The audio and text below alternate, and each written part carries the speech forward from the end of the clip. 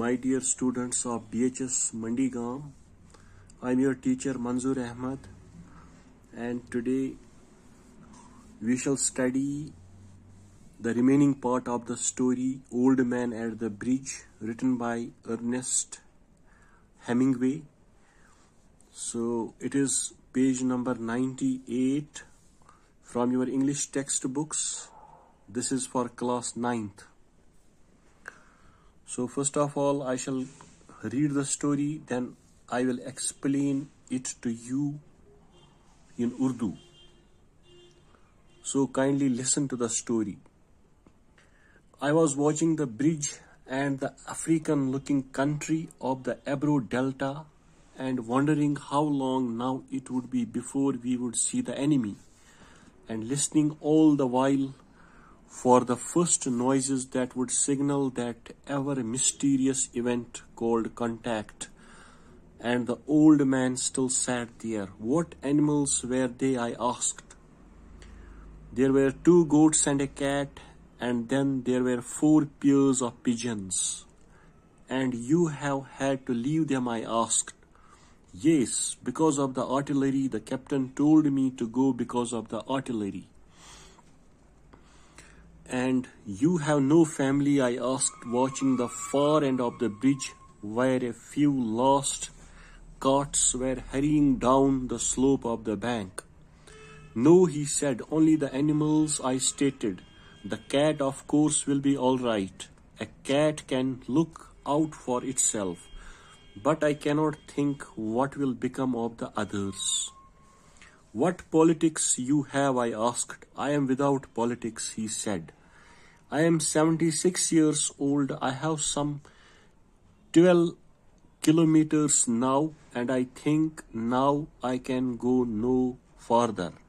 I have come 12 kilometers now, and I think now I can go no farther. That's not a good place to stop, I said. If you can make it, there are trucks up the road where it forks to Tortosa. I will wait a while, he said, and then I will go. Where do the trucks go? Towards Barcelona, I told him.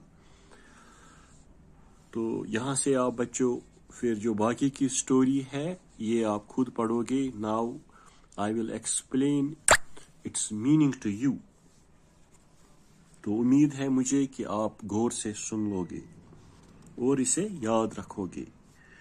सिपाही बूढ़े आदमी से पूछता है कि उसके पास कौन से मवेशी थे? बूढ़ा आदमी कहता है कि उसके पास कई किस्मों के मवेशी थे।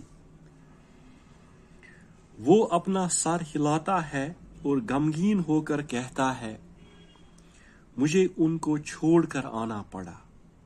वो सिपाही बूढ़े आदमी से फिर पूछता है कि वो जानवर कौन कौन से थे। इस पर बूढ़ा आदमी इन जानवरों का शुमार देने लगता है जो इसके पास थे।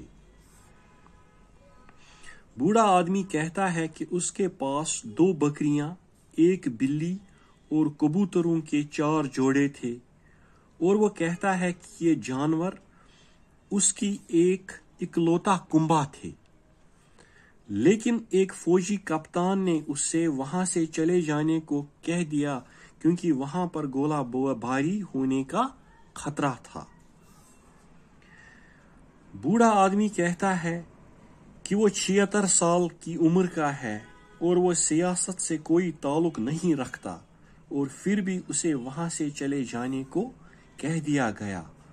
वो कहता है कि वो 12 किलोमीटर चलकर आया था और मजीद चल नहीं सकता। अपने जानवरों के बारे में अपनी फ़िक्र करते हुए वो बूढ़ा आदमी कहता है कि बिल्ली अपनी देखभाल खुद कर सकती है, लेकिन वो नहीं जानता था कि दूसरों का क्या होगा। उसने परिंदों का पिंजरा खुला छोड़ दिया था।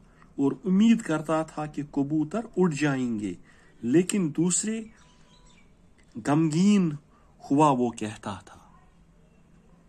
सिपाही कहता है कि गोलाबारी कभी भी शुरू हो सकती है, इसलिए वो बूढ़े आदमी से कहता है कि उसे वहाँ से हट जाना चाहिए। बूढ़ा आदमी अपने पाँव पर बैठे, बैठने की कोशिश करता है, लेकिन इधर उधर झूलता है और फिर पीछे की तरफ़ मिट्टी में गिर जाता है। तो इस तरह से ये जो आदमी है, ये बेचारा नहीं चल सकता है, क्योंकि ये बहुत ही बूढ़ा है।